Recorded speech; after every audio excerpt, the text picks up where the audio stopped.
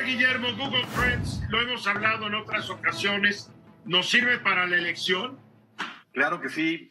Mira, lo hablamos con, mucho detalle cuando eh, recién acabó la, elección del 2018, donde los resultados de Google Trends coincidían plenamente con más o menos el porcentaje en el que las votaciones favorecieron a los tres importantes contendientes para la presidencia de México en ese entonces. Realmente es, una herramienta muy interesante porque el, cualquier internauta tiene la posibilidad de poder manipular los filtros de la, una de las más grandes bases de datos que es Google y puede entender cuál es el, el sentimiento o la intención de búsqueda del usuario en esa herramienta para poder ver realmente qué es lo que está sucediendo. Ahora, eso no quiere decir que porque sea muy buscado tenga que eh, de alguna manera ser la persona o el candidato que en algún momento pueda llegar a ganar. Y cito un ejemplo en particular. El 21 de abril en Zacatecas, el candidato dice que, que, no fue cierto, pero todo el mundo parece que, lo es cierto, tocó la espalda baja de, de, su compañera.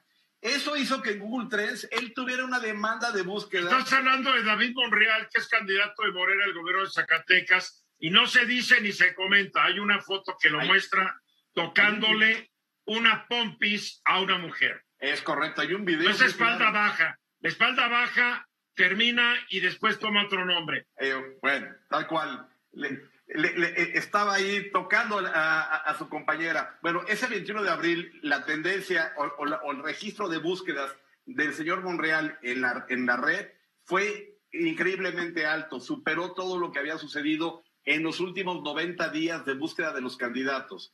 Entonces, Google Trends es algo que te permite poder ver, eh, o, como coloquialmente decimos, tantearle el agua a los camotes, saber por dónde va un sentimiento, una tendencia, una, una intención o una curiosidad para, para entender qué está pasando con algún producto, marca, personaje, etcétera, ¿no? Ahora, no sustituye una encuesta, nunca lo va a hacer. Sin embargo, te puede complementar cuál es el sentimiento, cuál es el interés de la población digital ante determinado evento, ante determinada persona, y en este caso, ante las elecciones, puede dar una referencia interesante de cómo están en, un determinado marco de tiempo. Además, aclarando que una encuesta tampoco te dice.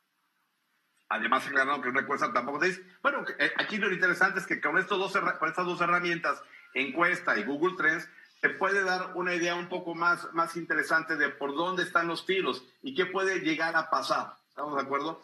Y si utilizamos esta herramienta, nos podemos dar eh, cuenta de, algunos datos muy sorprendentes. En algunas gobernaturas que están en juego, podemos ver algo, eh, eh, intenciones de búsqueda de los, o, curiosidad de los internautas que difieren por mucho de lo que estamos viendo como inclinaciones electorales. Bueno, que la gente le entre a trends.google.com y ahí puede buscar toda la información. Esta fue una producción de Grupo Fórmula. Encuentra más contenido como este en radioformula.mx.